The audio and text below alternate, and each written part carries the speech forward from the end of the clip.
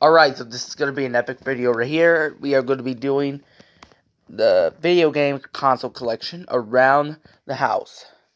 It's going to be an epic video. Let's get to it. Starting off is my GameCube, which works perfectly fine. The two controllers work perfectly fine. The other one has very scuffed, yeah, the other controller has a very scuffed left side and the other controller has orange tape on it, but otherwise works. Now let's move on to the next game console, what we have around the room. For the GameCube, I have a couple games. Next up is this 401 console. Right here, it works perfectly fine, no issues whatsoever.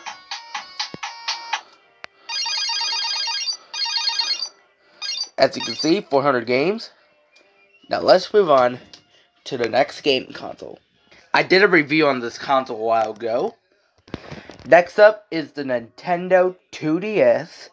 It does not work because it has a very, very, very bad LCD. And it has a missing D-pad, water damaged touchscreen, and a very scratched screen. And it's missing a stylus.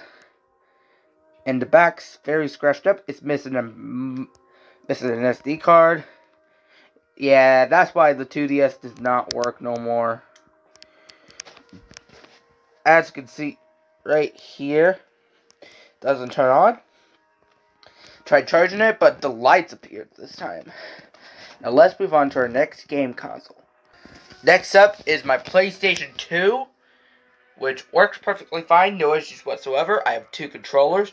One's the Dual Force, which has a dent right here. And one's the other controller. Both of the controllers work perfectly fine. Now let's move on to the next game console. Last game console. Well, next Actually, this is a PlayStation 2 Slim. Next up is a 620 in one console. It works perfectly fine, no issues whatsoever. I have a Genesis controller and the other one. They both work perfectly fine. The other controller I had to throw away because most of the buttons do not work. Now let's move on to our last console. Last but not least, it's the original model, of the PlayStation 2. It works perfectly fine, no issues whatsoever, but I need a new video and audio cord for it. Otherwise, it works. The one that goes for my PlayStation 2 Slim fits with it, and it works perfectly fine.